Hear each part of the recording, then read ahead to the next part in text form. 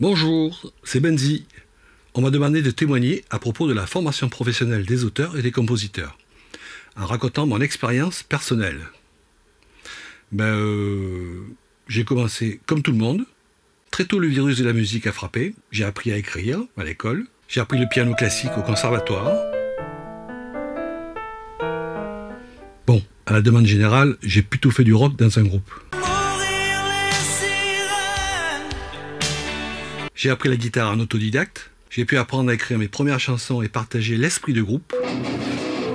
C'est de la merde. J'ai appris à murmurer à l'oreille des cheveux, jouer avec un lumbago, parfaire mon brushing. Parallèlement, j'ai appris à faire du son, mixer avec doigté, travailler au casque. Fort de ces expériences, j'ai pu enfin aller trouver des producteurs pour mon projet solo. C'est de la merde. Ébloui par cette pertinente analyse, je suis retourné en studio apprendre à faire des arrangements.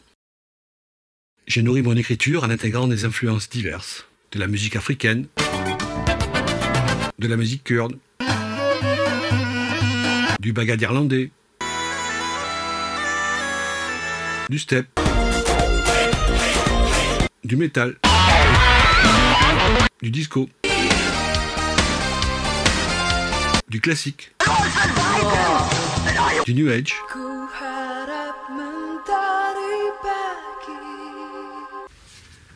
C'est toujours de la merde. et puis j'ai rencontré de nouveaux artistes en devenir pour qui j'ai dû apprendre à régurgiter toute mon expérience des arrangements.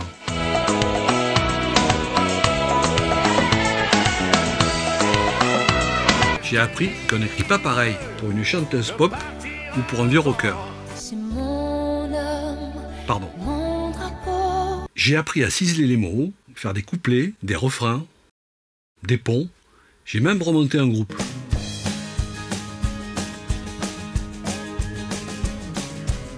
Alors là, c'est vraiment.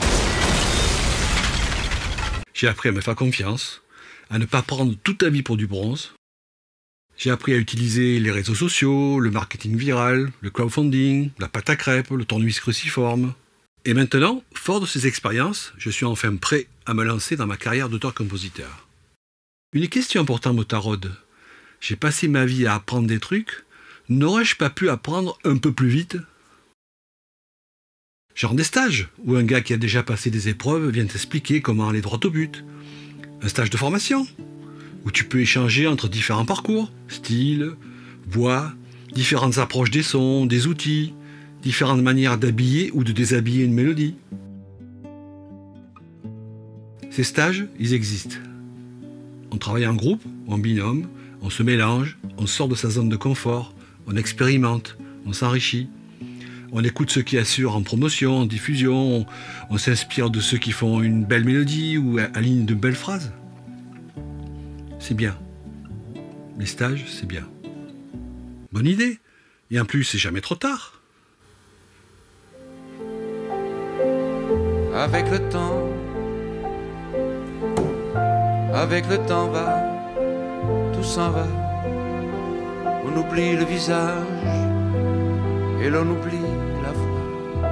Le cœur, quand ça bat plus, c'est pas la peine d'aller chercher